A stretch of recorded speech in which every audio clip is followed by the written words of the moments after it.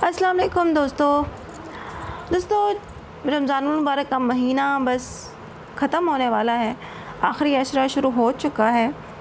बहुत सी बरकतें समेटने का वक्त है और साथ साथ तो अफसोस भी हो रहा है कि इतना अच्छा महीना बस अब ख़त्म होने वाला है। ईद आने वाली है, ईद की खुशियाँ भी आने वाली हैं। तो उसके साथ साथ ईद के मौके पर जो बहुत ज़्यादा ज़रूरी चीज़ है वो है फ़ितर, फ़ितराना देना। और इसीलिए इस ईद को ईद फ़ितर कहा जाता है, क्योंकि इसमें फ़ितराना दिया जाता है।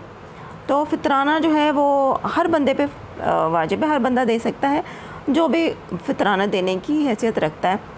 और लोगों को ये आजकल कन्फ्यूज़न है कि वो कितना दें। तो मैं आपको बताती हूँ कि एक फ़र्द पर कितना फ़ितराना देना होता है। ढाई किलो गंदम की रकम देनी होती है और वो मेरे ख्याल से सौ रुपये बनती है।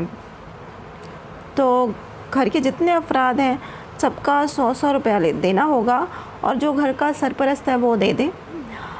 और हमारे हजूर पाक सल्लल्लाहु वसल्लम जो थे, वो ईद नमाज़ पढ़ने से पहले देते थे। मतलब कि वो तो खैर चाँद देख कर शवाल का चाँद देखने के बाद फ़ितर जो है, फ़ितराना जो है, वो दे दिया करते थे। तो आप भी ईद नमाज़ पढ़ने से पहले पहले फ़ितराना ज़रूर दीजिए। क्योंकि फ़ितराना देने का सही टाइम वही है।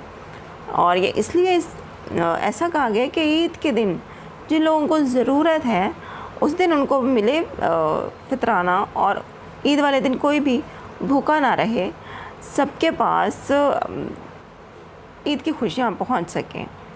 तो आप भी ईद नमाज़ पढ़ने से पहले पहले लाजमी दे दें और कोशिश करें कि अट्ठाईस उनतीस या तीस रोज़े के दरमियान ही दें, क्योंकि अगर आप बहुत ज़्यादा पहले दे देंगे तो वो जिसको भी ज़रूरत होगी, आप उसको दे देंगे तो वो पहले ही वो ख़त्म कर चुका होगा।